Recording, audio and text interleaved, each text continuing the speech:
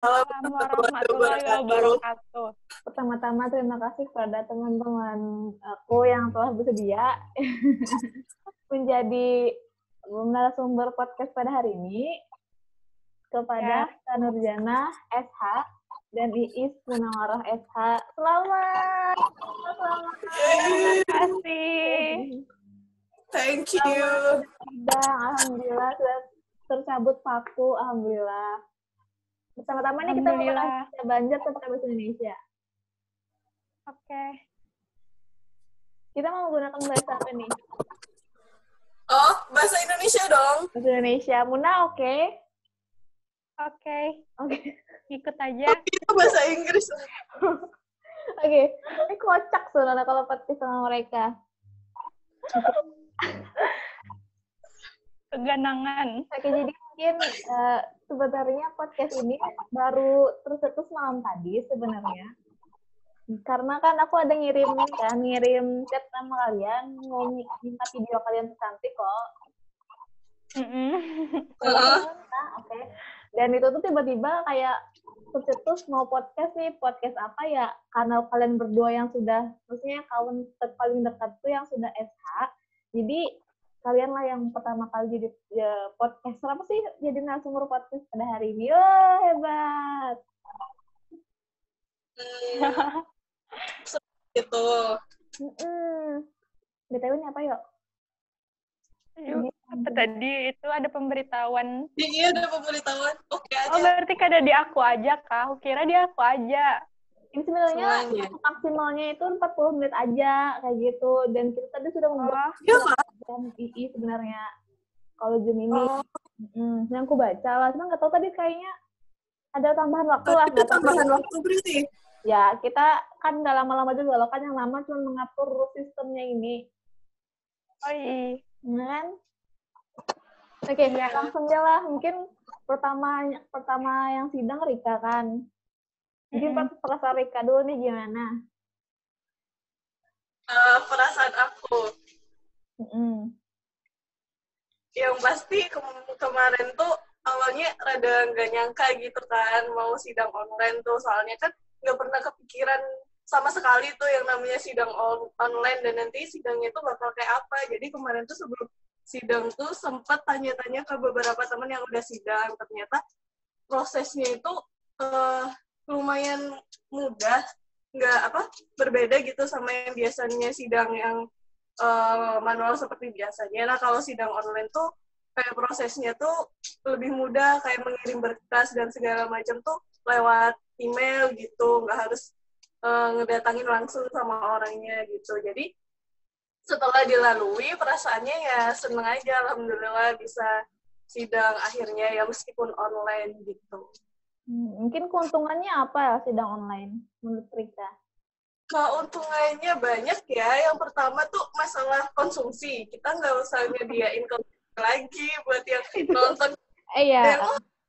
cuma beberapa orang, cuma beberapa orang aja yang nonton. Itu pun uh, gak dikasih apa-apa juga mereka datang dengan sukarela terus dan keuntungannya yang lain yaitu lebih apa ya lebih menghemat waktu untuk uh, mengumpulkan berkas dan yang lain-lain tuh lewat online semua lewat email dan segala macam gitu. Konsul pun lewat online juga.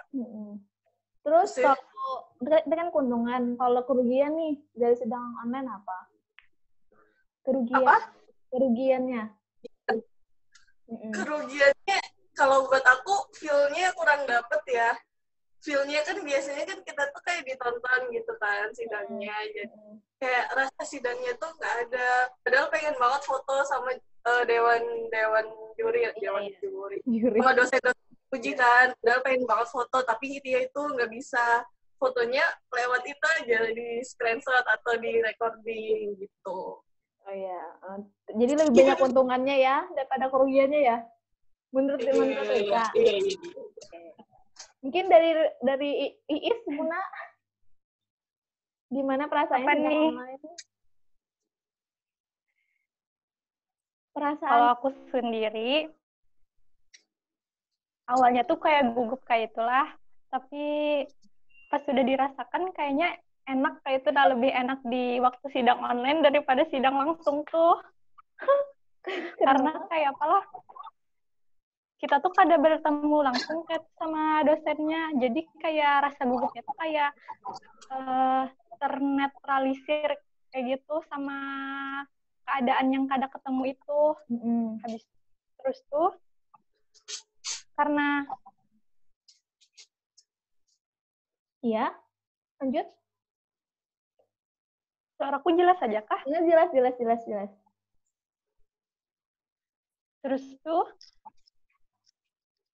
kayak kan kita kan sidang online gitu loh, like jadi pas di sidang online yang waktu aku menjelaskan itu, jelaskan skripsi aku itu, kada terlalu tegang karena di video itu tuh dosen-dosennya tuh pada padanya ah kayak pelah santai-santai semua kayak gitu. Nah jadi kayak ketawaan kayak rasa tegang tuh jadi beda kayak itu. Banyak yang kayak malah dosen-dosennya tuh kayak santai kayak gitu jadi rasa tegangnya tuh kayak hilang kayak gitu. Habis itu karena sidangnya online juga ya seperti yang Rika sebutkan tadi kita tuh jadinya kurang kurang mengeluarkan biaya. Habis itu biaya jadi hemat. Apalagi kayak kita kita kayak gini kan anak kos anak kos gitu loh rata-ratanya.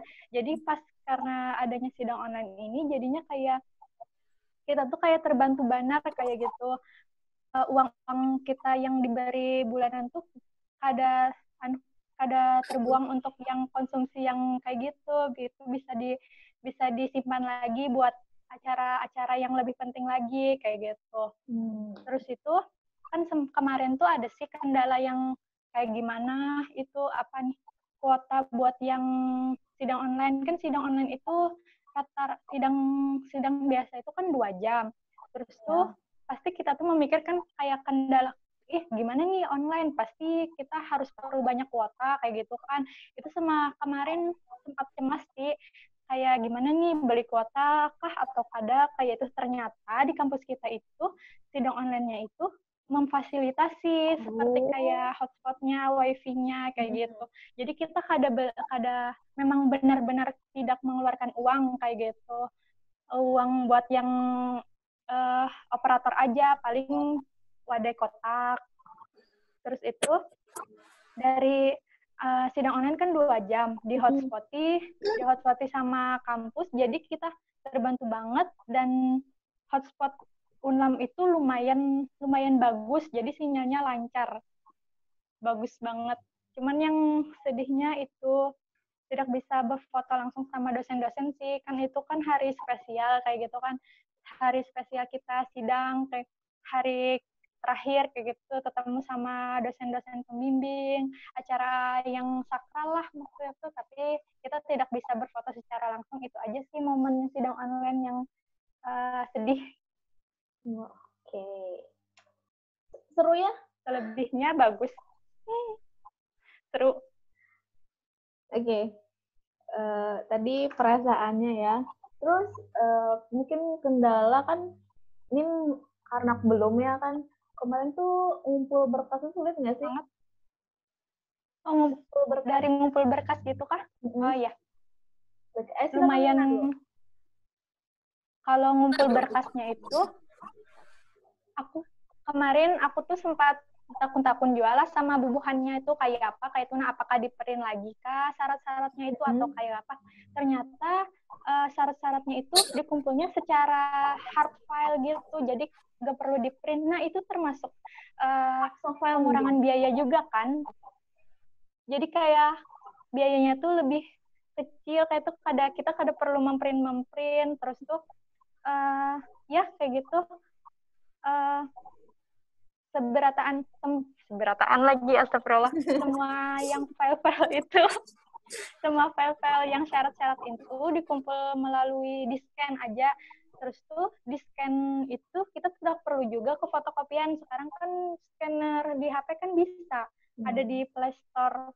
Jadi meringankan biaya juga. Jadi banyak sih sebenarnya banyak hikmahnya kayak gitu. Walaupun uh, online online kayak gini kan banyak loh yang uh, mengatakan kayak aduh online kayak kayak apa kayak apa online aduh kayak beda kayak itu tapi ternyata kan kalau kita melihat dari sisi hikmahnya tuh banyak banner plus plusnya Menurut Rika kemarin tuh ada kendala dalam mengumpul berkas, misalkan ada ya berkas yang kurang gitu. Contohnya aku ya kan, kan salah satu di kumpul berkas tuh ada sertifikat telah magang kalau nggak salah lah, dan aku tuh nggak ada rasanya kayak gitu. Nah, Rika gimana? Kekurangan dari berkas-berkas itu? Ya, uh, aku jawab ya. Kalau menurutku dari semua syarat-syarat itu cuma apa ya? Cuma uh, formalitas aja kalau menurutku ya. Soalnya aku yakin ibunya tuh kayak nggak ngecek semuanya gitu loh. Aku pun yang kemarin tuh ngirim sertifikat magang tuh bukan sertifikat yang aslinya, tapi cuma yang lembar penilaiannya itu loh. Nah, sama yang kan ada di syarat itu, ada disuruh bikin surat pernyataan buat yang pakai kerudung.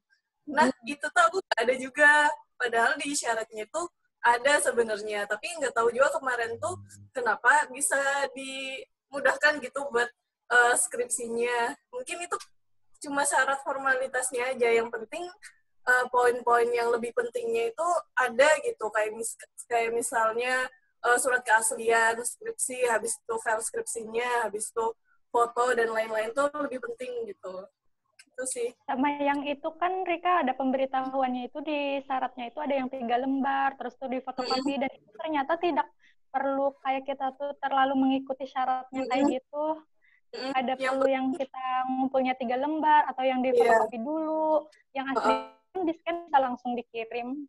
Iya. Yeah. Pokoknya yang penting kita ngumpul aja gitu loh. Mm-hmm. Poin-poin yang penting aja. Nanti sama ibunya nanti di ACC. Oke. Okay. Ibu mungkin ke ibu siapa? Kalau perdata kan ibu Emma ya, Mun. Oke. Okay. Mm-hmm, kalau perdata. Kalau acara tahu? Ya nggak tahu lah. Nah, kurang tahu. Kurang tahu. ya, apa. Aku tahu pidana Ibu Titi. Oke. Okay. Alun, um, kemarin sidang online uh, dosen pengujinya lima juga. Iya. Lima lima datang. Maksudnya lima lima hadir saat itu. Alhamdulillah sih. Kalau aku hadir, hadir semua walaupun yang akhir-akhirnya dosennya ada yang salah satu hilang-hilang kayak gitu sibuk jadi sisa kemarin dua dosen aja yang terakhir-akhir oke okay. mungkin di antara dosen-dosen penguji nih yang mungkin yang berkesan dan kayak mungkin pertanyaannya itu buat kayak pasti ada lah kan pasti ada tuh yakin takut lah menyinggung dari Rika dulu dari Rika dulu dari aku dulu kak. Ya, ini disebutnya sama dosennya. Enggak, ya. Ini terlalu sensitif. Enggak, maksudnya mungkin mungkin pertanyaannya aja gitu, nggak usah dosennya. Oh, iya, ada, pasti ada lah setiap persidangan itu ya. dosen-dosen uh, mencari-cari uh, celah-celah buat kita